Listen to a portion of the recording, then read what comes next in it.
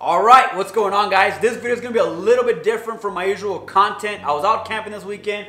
I had my overland trailer with me. It was all set up. So I figured I'd give you guys kind of a walkthrough of how it's laid out, some of the components, and how I built this thing from scratch, basically from the ground up. Uh, if you're new to this channel, we create content full of useful tips, techniques, and or drills just like this one to help you build and or expand your tactical knowledge base. So consider subscribing. You've been watching my videos for a while, it's a little bit different from my usual content, but I think it falls in line with the overall theme of this channel. If you're like me, we like shooting, we like the tactical aspect, but we also like being prepared. And that's what this video is all about, that outdoor survival slash preparedness aspect of our tactical knowledge base.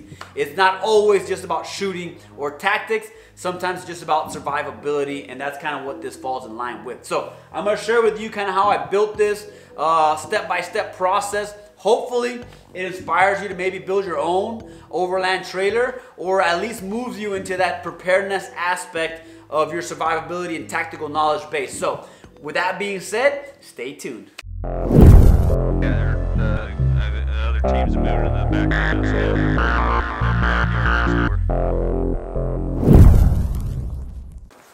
First let's talk about the overall kind of dimensions of the trailer. So it roughly weighs about 2,500 pounds. It's 12 and a half feet long by six feet wide. Same width as my Tacoma there. That's what I pull it with. I have 17 inch rims on it, which also match the ball pattern on the Tacoma. That way, if I have to change a spare from the trailer to the truck or vice versa, they're kind of interchangeable. So that's kind of the overall dimensions. Let's get into the actual specs and how I built it.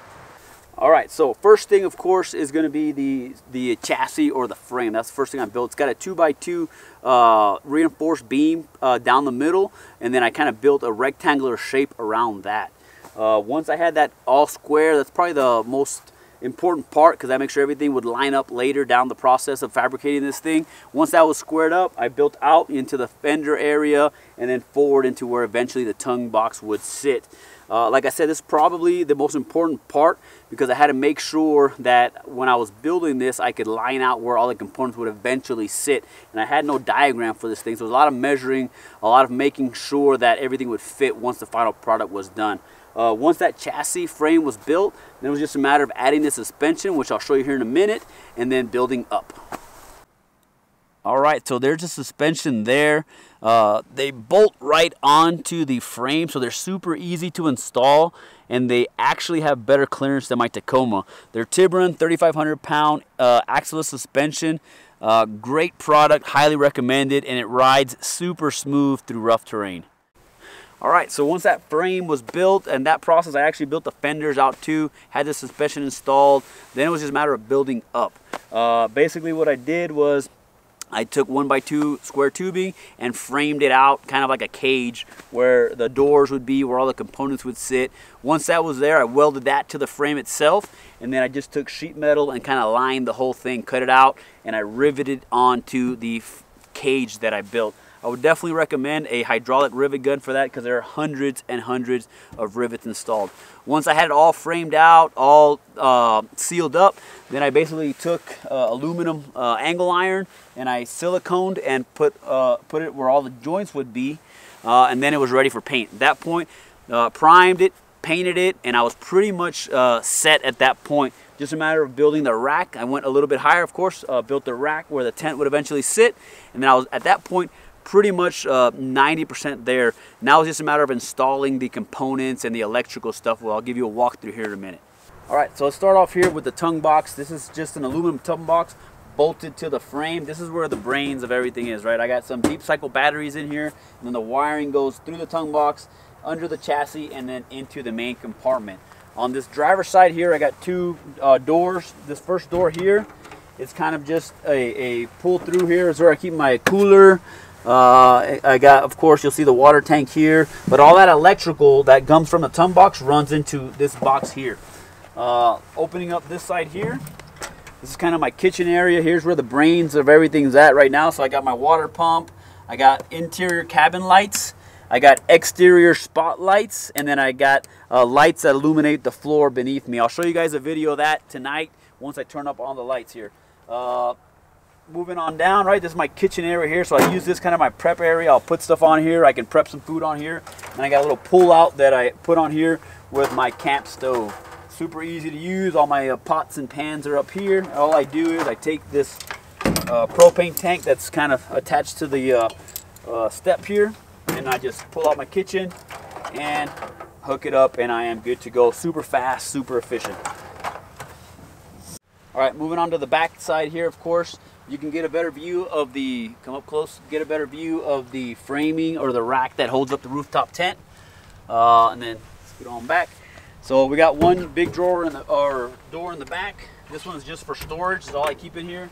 Uh, I got these tubs. This one's got miscellaneous stuff like a Mr. Buddy heater, uh, extra clothing. My pantry sits in here, and that's kind of what it looks like in there. Uh, moving along to the passenger side, I got some spare gas. My water intake is right here, so I basically connect the water hose into this, and it fills up my water tank inside. And on this side here, I have a propane uh, tankless water heater. I have the hose in the tongue box connected here with a propane tank and basically have instant hot water. Uh, let's take a look in here real quick. All right, so let me show you guys the inside. So there's the uh, the water pump. Basically, once I turn the switch on that little box there, it pressurizes the system and we're good to go. It's basically plumbed uh, through the roof there, and then it breaks off in a T. On this side here, it goes to my water tank there, uh, and then on the uh, driver's side there, just goes to a water hose. Eventually, I'm going to build a sink on that side, and then all the electrical as well runs across the top with the interior lights. Okay, a few more things to add uh, in regards to the build. First and foremost, make sure you're compliant with your state's DOT guidelines, Department of Transportation guidelines, when it comes to trailers. Things such as marker lights. You have to have front marker lights, rear marker lights, brake lights, turning lights, all, all that good stuff. So make sure you're compliant with that. As far as the miscellaneous parts when it comes to your gaskets, your latches, your hinges, propane tank, your LED lights, Amazon is your friend.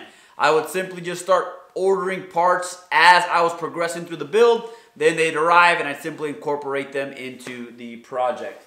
Uh, another noteworthy item was the fenders. I actually framed those out in steel, but I used aluminum diamond plate to kind of cover those up and the part I'm sitting on right now, just to cut down on the weight. And then the last thing I'll mention is the hitch. I actually use what's called a lock and roll hitch. Much better hitch than your standard ball hitch when it comes to off-road vehicles. First of all, it actually locks in place so it can't disconnect. And then number two, it articulates both up and down and left and right. That coupled with the independent suspension allows for a really smooth ride and I can actually negotiate some pretty rough terrain and not worry about it disconnecting or disengaging like your standard ball hitch would. Of course, they're a little bit more expensive than your standard ball hitch, but definitely worth the investment. All right, so that is a trailer build there. It took me about six to eight months to complete, mainly on the weekends or in the afternoons. Uh, I am not a master welder or a master fabricator. I simply bought one of those Lincoln portable welders, made a few projects, and then jumped right into this. So I am 100% self-taught when it comes to this. So if you have the slightest technical ability, you should have no problems building something similar. If you have any questions or comments or want specs on some of the dimensions or some of the components that I use for this build, do not hesitate to leave me a comment down below as I'll be more than willing to share that information with you. As always, if you found this information valuable, leave me a comment down below. Consider subscribing to catch my latest videos. With that, stay safe and train hard.